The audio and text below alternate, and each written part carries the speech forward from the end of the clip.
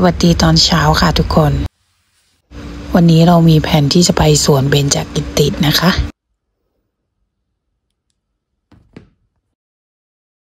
ทุกครั้งที่เวลาที่เราจะออกจากห้องนะคะ ก็ต้องตรวจสอบว่าเราลืมกุญแจห้องหรือเปล่า แล้วก็มีอะไรที่เราลืมอีกนี่เห็นไหมเราลืมขวดน้ำซึ่งแบบต้องสำรวจตัวเองดีๆ เลย แล้วเราก็จะปิดไฟถอดปลั๊กทุกอย่างที่ มันทำการเกิดไฟฟ้านะคะ